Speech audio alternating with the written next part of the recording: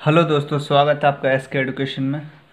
आज मैं मैथ का क्लास लेकर आया हूँ, जो प्लेटफॉर्म थर्टी टू हंड्रेड, जिसमें N T P C railway के ग्रुप डी और एल पी का पूछे सवाल है। चलिए, आज हम पहला चैप्टर स्टार्ट करते हैं।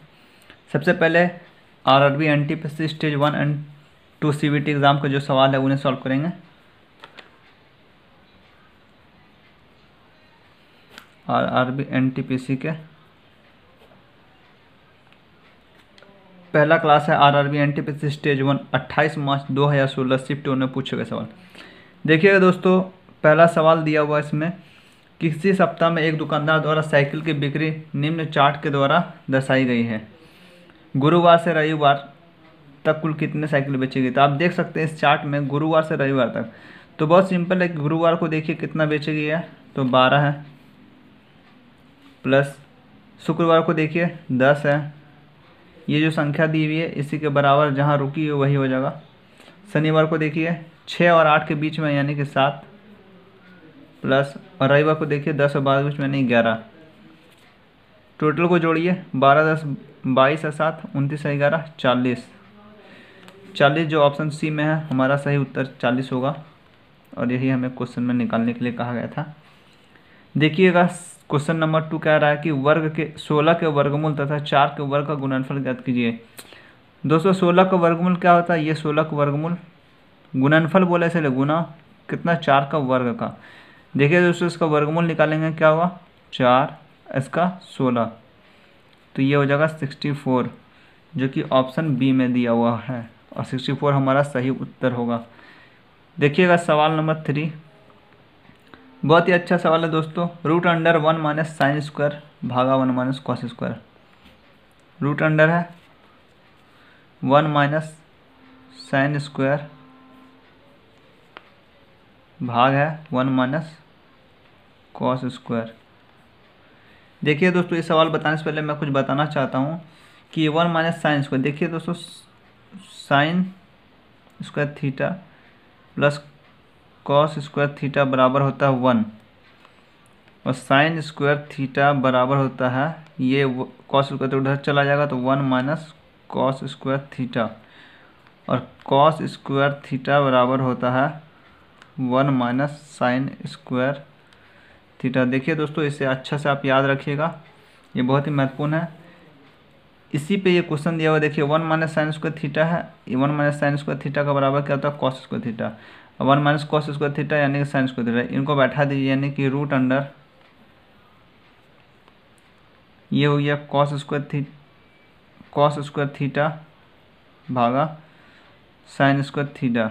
यू कह सकते हैं हम इसे कॉस स्क्वायर थीटा बटा sine square theta root under, यानी root under cot square theta.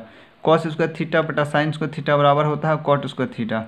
ये हो जाएगा रूट हटेगा स्क्वायर हटेगा तो कॉट थीटा इसका अगर वर्ग कर देंगे या फिर वर्गमूल कर देंगे तो सिर्फ़ कॉट थीटा बचेगा जो कि ऑप्शन ए में है, सही उत्तर हमारा यही होगा। चलिए अगला सवाल, अगला क्वेश्चन का देखते हैं। Question number four question number four देखिए क्या कहता है कि चक्रवृद्धि ब्याज आठ परसेंट की वार्षिक दर से निवेश की गई, सैंतीस हज़ार पाँच सौ रुपया, एक पुनः बटा दो वर्ष में कितनी हो जाएगी, जबकि ब्याज दर अर्धवार्षिक संयोजित होता है। देखिएगा। पी यानी पी से डिनोट करते हैं हम। मूलधन को जो सैंतीस हज़ार पाँच सौ रुपये दी हुई है। आर देखिएगा दोस्तों, आठ परसेंट दिया हुआ है। और टी देखिएगा दोस्तों, एक पूर्णांक एक बटा दो यानी कि तीन बटा दो वर्ष दिया हुआ है। और कहता है कि अर्धवार्षिक, दोस्तों अर्धवार्षिक जब कहते हैं, यानी कि साल में छः महीना, दो बार, साल में दो बार, यानी कि ये हो जाएगा दो से भाग दे देंगे रेट को, ऐसे दो से गुना कर देंगे, यानी कि तीन वर्ष हो जाएगा। ये देखिएगा चार वर्ष चार परसेंट हो जाएगा दोस्तों। तो चार परसेंट यानी कि दोस्तों, एक बटा पच्चीस। देखिए दोस्तों, ये मूलधन होता है, ये ऐसा ऐसा ही होता है। तो यानी कि अगर हम मिश्रधन करेंगे तो क्या होगा? छब्बीस बटा पच्चीस। ये छब्बीस मिश्रधन हो गया। यानी कि सैंतीस हज़ार पाँच सौ का छब्बीस बटा पच्चीस। थ्री टाइम कर देंगे, क्योंकि टाइम तीन वर्ष है। छब्बीस बटा पच्चीस गुना छब्बीस बटा पच्चीस, ये अमाउंट निकालने के लिए है। जब हम इसे सॉल्व करेंगे दोस्तों तो four two one eight two point four zero आएगा, जो कि ऑप्शन ए में है। सही आंसर यही होगा इसे सॉल्व करने के बाद। चलिए दोस्तों, आगे देखते हैं। क्वेश्चन नंबर फाइव बहुत अच्छा सवाल है दोस्तों क्वेश्चन नंबर फाइव देखिए, कह रहा कॉट ए बराबर बारह बटा पाँच है तो sine A plus cos A into cosec A कितना हुआ? देखिए दोस्तों कॉट ए बराबर दिया हुआ है बारह बाई फाइव ठीक है दोस्तों? तो देखिए दोस्तों कॉट ए बराबर बारह फाइव इसे हम क्या जानते हैं कि टेन बराबर पी बटा बी होता है कॉट यानी कि उसका ऑपोजिट बी बटा पी इससे हमको फाइंड क्या करना है? अब छः एच निकालना है। बी तो दिया हुआ है पी भी दिया हुआ है एच नहीं पता। तो एच हो जाएगा तेरह। अच्छा ये तेरह कहाँ से आया दोस्तों? देखिए, ये ट्रिपलेट है। ट्रिपलेट बन रहा ना पाँच, बारह, तेरह। ये ट्रिपलेट हो गया दोस्तों, इसीलिए एच तेरह। इतना बेसिक नॉलेज आपको रखना पड़ेगा क्योंकि आप किसी भी प्रीवियस पेपर का सेट बना रहे हैं। तो थोड़ा नॉलेज रखना पड़ेगा दोस्तों। चलिए, आगे देखते हैं। कह रहा है हमें कि sine A plus cos A into cos A, यही हमें फाइंड करने के लिए कह रहा है। तो साइन ए क्या होता है दोस्तों? पी बटा एच कॉस ए क्या होता है दोस्तों? बी बटा एच इंटू कॉस ए क्या होता था? साइन का ऑपोजिट यानी एच बटा पी देखिएगा पी प्लस बी बटा एच इंटू एच बटा पी देखिए एच एच कट गया। देखिए दोस्तों पी क्या दिया हुआ है? बारह प्लस पाँच बटा पाँच। यानी कि दोस्तों ये हो गया सत्रह बटा पाँच, इसका सही आंसर होगा जो कि ऑप्शन बी में दिया हुआ है। देखिए दोस्तों, चलिए अगले सवाल की ओर देखते हैं क्वेश्चन नंबर सिक्स। एक आदमी 25 परसेंट की हानि पर एक गेज को बयालीस सौ रुपये में बेचता है तो 25 परसेंट लाभ कमाने के लिए मेज को कितने मूल्य में बेचना होगा? देखिए दोस्तों, ये कह रहा कि 25 परसेंट, यानी कि सेवेंटी फाइव परसेंट इक्वल दिया हुआ है फोर्टी टू हंड्रेड। पच्चीस परसेंट घटा देंगे तो सेवेंटी फाइव होना दोस्तों, इसलिए अब उसे लाभ कमाना है वन ट्वेंटी फाइव परसेंट बराबर वाट तो जब इस तरीके से तो क्रॉस मल्टीपल करते हैं हम लोग। Forty two hundred into one two five seventy five पच्चीस से काटेंगे दोस्तों तीन बार में, पच्चीस से काटेंगे पाँच बार में, तीन से काटेंगे चौदह बार में, यानी चौदह सौ। दोस्तों ये क्या होगा? सात हज़ार। जी हाँ ये सात हज़ार हो जाएगा इसका सही उत्तर जो कि ऑप्शन सी में दिया हुआ। आगे देखेंगे दोस्तों क्वेश्चन नंबर सेवन। सेवन देखिएगा दोस्तों, बहुत ही अच्छा क्वेश्चन है, इसे आप अच्छे से समझिएगा। क्वेश्चन नंबर सेवन क्या कहता है कि दो स्थान, देखिए दोस्तों, ए और बी दो स्थान है। ये दो स्थान है, जिसकी दूरी 300 किलोमीटर दी हुई दोस्तों। ठीक है? दो दो स्थान ए और बी के बीच की दूरी 300 किलोमीटर की दूरी है। दो स्कूटर यात्री ए और बी एक साथ एक दूसरे की ओर बढ़ते हैं। ढाई घंटे बाद उनके बीच की दूरी 25 किलोमीटर रह जाती है। यदि एक स्कूटर की चाल दूसरे से 10 किलोमीटर घंटा अधिक हो तो प्रत्येक स्कूटर की चाल बताइए। मान लीजिए दोस्तों, ये एक्स किलोमीटर प्रति घंटा से इधर जा रहा और ये एक्स प्लस टेन किलोमीटर प्रति घंटा से इधर आ रहा। अब देखिए ये कह कि ढाई घंटे बाद ढाई घंटा चलता है, ये तो ढाई घंटा चलता है ये यानी कि ये यहाँ पहुँचता है, ये यहाँ पहुँचता है। तो इन दोनों के बीच में दूरी क्या रहता है दोस्तों? बच जाता है पच्चीस किलोमीटर। तो यानी कि पच्चीस किलोमीटर अभी इन दोनों के बीच में डिस्टेंस बचा हुआ टोटल डिस्टेंस तीन सौ किलोमीटर है। देखिए, ध्यान दिए तीन सौ है तो पच्चीस किलोमीटर अभी बाकी यानी कि दोस्तों, वो लोग चला कितना? दो सौ पचहत्तर किलोमीटर। अच्छा दोस्तों, कितने में चला? वो ढाई घंटे में, क्योंकि ढाई घंटे कह रहा है। तो ढाई घंटे में जब कह रहा है तो ढाई, ये ज़ीरो ऊपर। तो ये दूरी है, ये समय है काट दीजिए, आएगा 110 तो दोनों का चाल आ गया ना दोस्तों 110 किलोमीटर प्रति हावर क्या कि हम दोनों का नाप रहे हैं, दोनों को बोल रहे हैं, इसलिए दोनों का, अब देखिएगा दोनों का चाल 110 किलोमीटर यहाँ पे दोनों क्या है एक्स किलोमीटर प्रति घंटा एक्स प्लस टेन यानी कि X plus X plus ten equal दिया हुआ 110 यही ना आया दोस्तों। अब देखिए टू एक्स और ये दस इधर जाएगा तो ये घट जाएगा सौ। काटिएगा दोस्तों, ये पचास आएगा। यानी कि x बराबर पचास किलोमीटर प्रति घंटा तो एक का चाल हो जाएगा दोस्तों पचास, दूसरे का चाल हो जाएगा साठ किलोमीटर प्रति घंटा, जो कि ऑप्शन ए में दिया हुआ है। अगले क्वेश्चन को देख, बढ़ते हैं दोस्तों। क्वेश्चन नंबर आठ। देखिएगा दोस्तों, क्वेश्चन नंबर आठ कहता है, एक आदमी तीन सौ साठ रुपये में एक सौ चौवालीस संतरे खरीद, खरीदे और दस परसेंट का लाभ से बेच दिया तो अपने प्रति दर्जन संतरे किस दर से बेचे? देखिए दोस्तों, इस बहुत अच्छा सवाल है। तीन सौ साठ रुपये में वो खरीद रहा, कितना? एक सौ चवालीस। यानी कि दर्जन में पूछा दोस्तों। दर्जन में पूछा तो हम एक काम करते हैं, इसे दर्जन में बदल देते हैं। यानी कि 144 संतरे हैं तो इसे दर्जन में, यानी कि 12 दर्जन। 110 परसेंट लाभ 10 परसेंट लाभ पे तो 110 विक्रय मूल्य निकलना इसलिए 110 तो ये 100 ये दो ज़ीरो कट गया दोस्तों, ये 12 से तीन बार में। 12 से तीन बार में। चलिए ये कितना आया दोस्तों? थर्टी थ्री थर्टी थ्री रुपये प्रति दर्जन के हिसाब से बचे क्वेश्चन नंबर नाइन देखिएगा दोस्तों।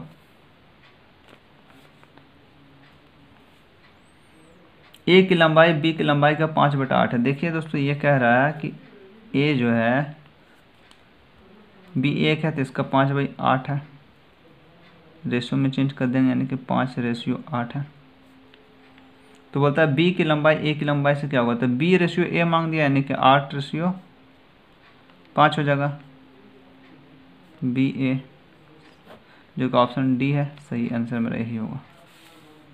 चलिए दोस्तों, अगले सवाल की तरफ़ बढ़ते हैं। क्वेश्चन नंबर टेन टेन देखिएगा दोस्तों, ये ऑप्शन से बनेगा। दो क्रमानुपात संख्याएँ ज्ञात कीजिए, जिनमें पहले अंक का तीन गुना दूसरे अंक के दो गुने से पाँच अधिक हो। तो ये ऑप्शन से बनाएँगे। देखिए, पहले अंक का तीन गुना कीजिएगा। जैसे पाँच, तीन, पंद्रह, देखिए, दो, छः दिन बाईस का दुगुने से पाँच अधिक है। बिल्कुल नहीं है। देखिए छतिया अठारह, सात गुना चौदह चौदह से चार ही अधिक है। ये देखिए सातिया इक्कीस तीन गुना दूसरे का आठ गुना सोलह। जी हाँ ये है। इक्कीस है दूसरा सोलह है। ये देखिए, दोस्तों, ये प्लस पाँच है, ये पाँच अधिक है। यानी कि इसका ऑप्शन क्वेश्चन नंबर टेन का सी सही होगा आंसर इसका। चलिए दोस्तों, आगे देखते हैं आप। ये क्वेश्चन नंबर इलेवन देखिए दोस्तों। क्वेश्चन नंबर इलेवन कह रहा है कि मीना ने बैंक से दो लाख पचहत्तर हज़ार रुपये का कार लोन लिया। उसने आठ परसेंट की वार्षिक दर से ब्याज का भुगतान किया और तीन वर्ष में पूरा भुगतान कर दिया। भुगतान करते समय उसने अपना पुराना स्कूटर तथा तीन लाख पैंतीस हज़ार रुपये बैंक को अदा किया स्कूटर का कुल मूल्य बहुत अच्छा क्वेश्चन है, देखिएगा दोस्तों, ये पी यानी कि पी से यानी कि मूलधन। मूलधन दिया हुआ है दोस्तों कितना? दो लाख पचहत्तर हज़ार। और रेट देखिएगा दोस्तों, दिया हुआ आठ परसेंट और टाइम दिया हुआ दोस्तों, तीन वर्ष। तो सबसे पहले हम इसका निकालते हैं अमाउंट ठीक है दोस्तों?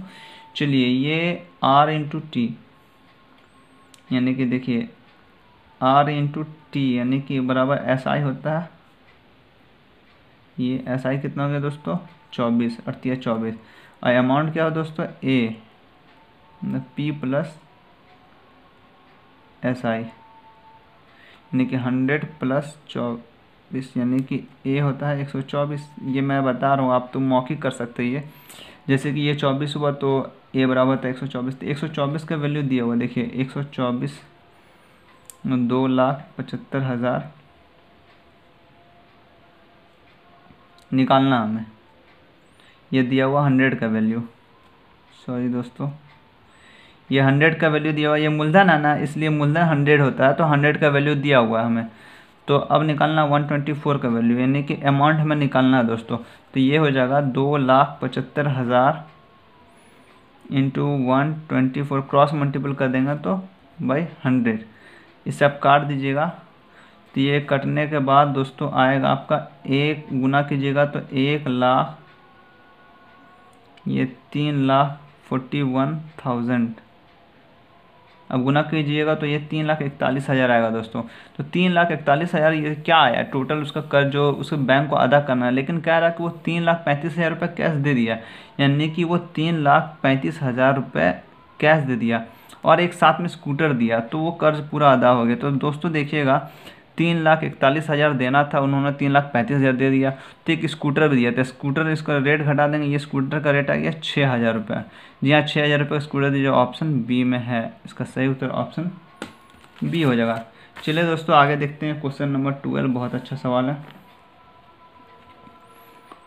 क्वेश्चन नंबर ट्वेल्व क्या है दोस्तों? एक टैंक, दो नल, एक्स तथा वाई।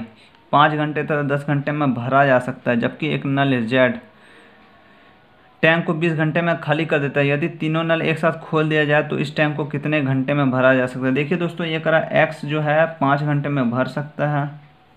प्लस डिनोट करें भरना। वाई जो है, दस घंटे में भर सकता है। जेड जो है, इसे बीस घंटे में खाली कर सकता है। देखिए टोटल इसका टंकी का क्षमता देखिए, क्या हो जाएगा? चार लीटर।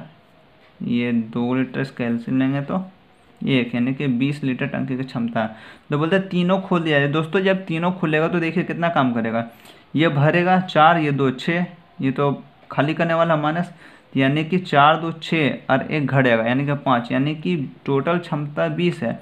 उस पर पाँच यूनिट काम होगा तो ये कितने जल्दी? चार घंटा में भरेगा। भरेगा इसलिए क्योंकि ये माइनस में नहीं आ रहा। अगर यहाँ पे माइनस में आता, इसको जोड़ने के बाद माइनस में मान लीजिए यहाँ पे सात रहता चार में दो छः हुआ और सात घटाते तो कितना माइनस वन आता तो वो माइनस खाली करता। लेकिन प्लस में यानी कि भरेगा, चार घंटे में भर देगा टंकी को। चलिए देखिए अगला सवाल। Question number thirteen. बहुत अच्छा सवाल है, इसे आप बढ़िया से देख लीजिए एक बार।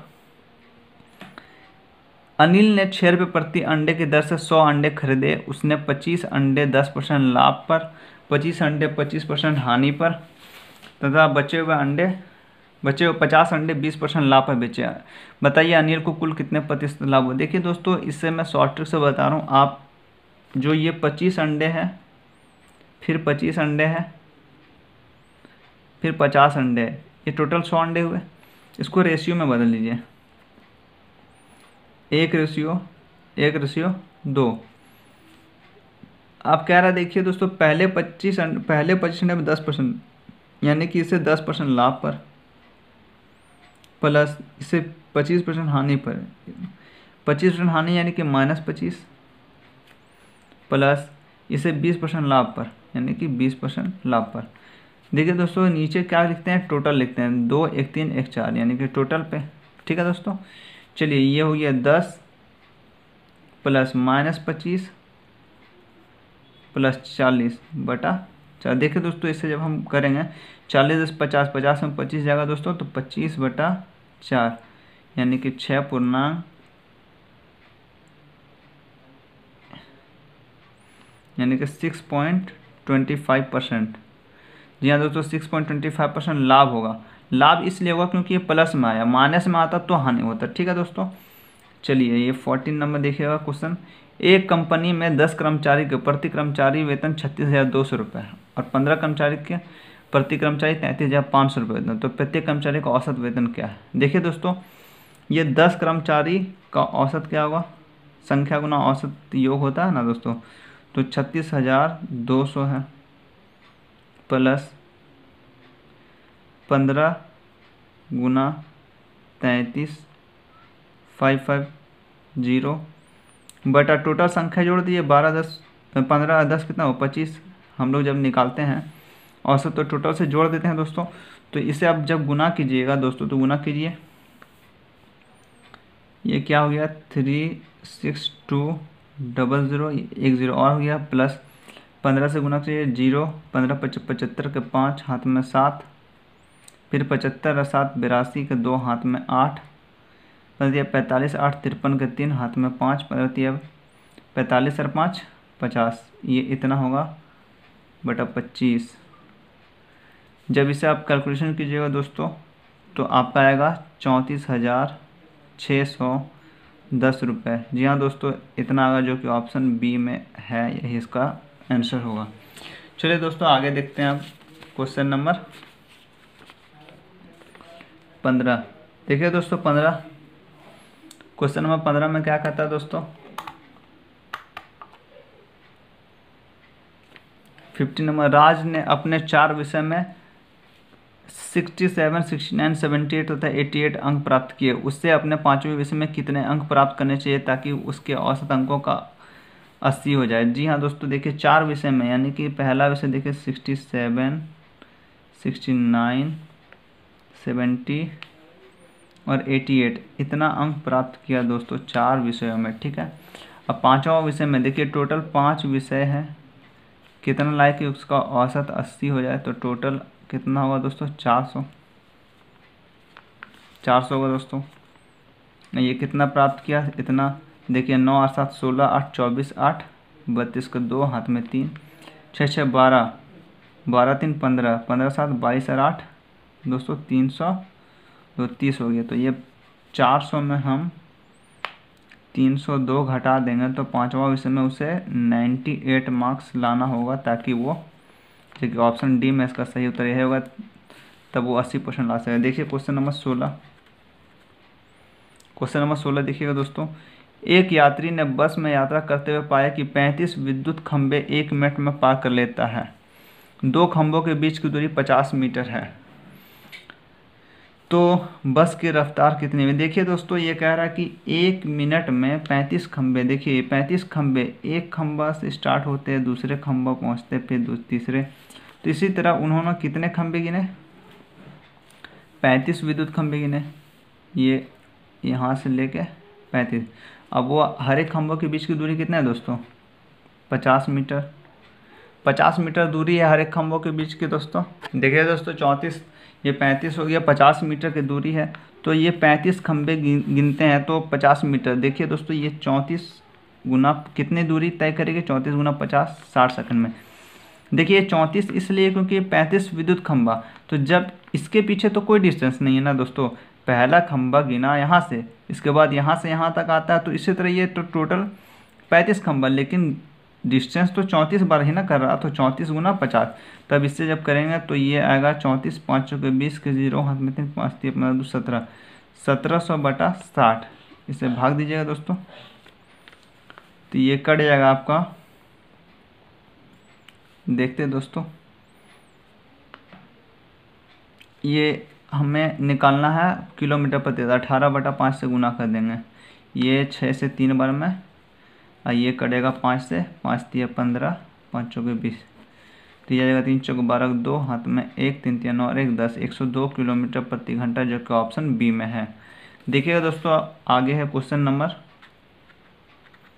सत्रह। जी हाँ सत्रह नंबर देखिए, अमन और अजय एक दीवार को नौ दिन बाद में पूरा करते यदि वो दोनों मिलकर कार्य करें तो वो कितने दिन में इसे पूरा कर सकेंगे? इसे देखिए, शॉर्ट ट्रिक में बनाना है सीधा सीधी नौ इंटू बारह इन दोनों को जोड़ दीजिए। ये हो गया ट्वेंटी वन तो इसे काटिएगा तीन से सात बार में, तीन से तीन बार में, यानी कि थर्टी सिक्स बटा सेवन थर्टी सिक्स बटा सेवन यानी कि पाँच पूर्णांक एक बटा सात, जो कि ऑप्शन ए में है। यही इसका सही आंसर होगा। देखिएगा दोस्तों क्वेश्चन नंबर एटीन एटीन देखिए दोस्तों, इसे सबसे अच्छा तरीका है कि आप इसे याद रख लें। कि कितने कितने अभाज्य संख्या होते हैं। चलिए क्वेश्चन नंबर नाइन्टी देखते हैं। आप वन से लेके वन से लेके फिफ्टी तक याद रख लें, फिर फिफ्टी से लेके हंड्रेड तक याद रख लें, फिर हंड्रेड से लेके इसी तरह याद रख लें, फिर वन से लेकर डायरेक्ट हंड्रेड तक याद रख लें। अच्छा होगा चलिए क्वेश्चन नंबर नाइनटीन देखते हैं दोस्तों। क्वेश्चन नंबर नाइनटीन होता है, दो संख्याओं का गुणनफल three five eight two eight है। एस सी एफ़ छब्बीस है तो उनका एलसीएम ज्ञात करिए देखिए दोस्तों, दो संख्याओं का गुणनफल दिया दिया। दो संख्या गुणनफल क्या होता है? देखिए फ़र्स्ट इंटू सेकेंड बराबर होता है S C F into L C M तो दो संख्या गुणनफल दिया हुआ दोस्तों three five eight two eight और एस सी एफ़ दिया हुआ छब्बीस। तो एल सी एम निकालने बोला दोस्तों। काट देंगे इसे, देखिए, तेरह से दो बार में। इसे काटिएगा दोस्तों। तेरह दुना छब्बीस, नौ अंठानवे हुआ, तेरह सत्तर इक्यानवे बहत्तर हुआ, तेरह पच्चीस पैंसठ, अठहत्तर, तेरह छः अठहत्तर। फिर दो सौ काटिएगा। तेरह बार में छब्बीस, पंद्रह, सात हाँ तेरह सौ अठहत्तर। जी हाँ एलसीएम इसका तेरह सौ अठहत्तर आएगा, जो कि ऑप्शन नंबर सी में दिया हुआ है। देखिएगा, अब अगला सवाल क्वेश्चन नंबर बीस में। बीस नंबर देखिएगा दोस्तों, मैं कोशिश करता हूँ यहीं पे। ये दिया हुआ A square minus B square भागा है यानी कि ए प्लस बी बराबर पच्चीस है। पूछता है ए माइनस बी देखिए, इसे मैं डायरेक्ट कह सकता हूँ, पच्चीस ही आंसर होगा, इसलिए देखिए A square minus B square यानी क्या होता है दोस्तों? A minus B A plus B और नीचे ए प्लस बी दिया हुआ है। बराबर पच्चीस। ये A plus B A plus B तो कटेगा तो ए माइनस बी का मान क्या होगा? पच्चीस, यानी कि जो कि ऑप्शन सी में दिया हुआ, यही आंसर हुआ आज के लिए इतना है दोस्तों, फिर मिलते हैं अगले क्लास में।